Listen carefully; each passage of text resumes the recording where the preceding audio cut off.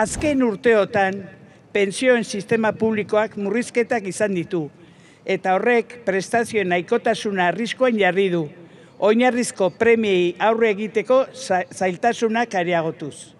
Pensiodunen mobilizazioak bakarrik lortu du botere politikoak eta ekonomikoak pensioen sistema publikora eraman nahi duen narreadura prozesua partzialki geldiaraztea.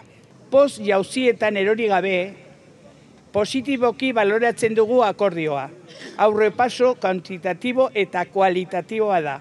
Eta batez ere, Nafarra askori lagunduko die beren ekonomia delikatuan beren premiarik bizienak asetzeko. Eta beste behin ere, agerian geratzen da jende askoren borrokak eta luzaroa merezi izan duela.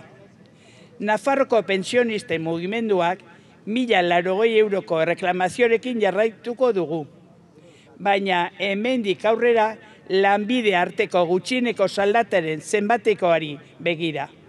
Estaldura banan-banan aplikatu beharko da ez bizikitza unitatea eta kotizazio gabeko pensioak sartu behar dira.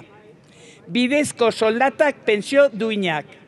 Urrengo geldialdia lanbide arteko gutxieneko soldata.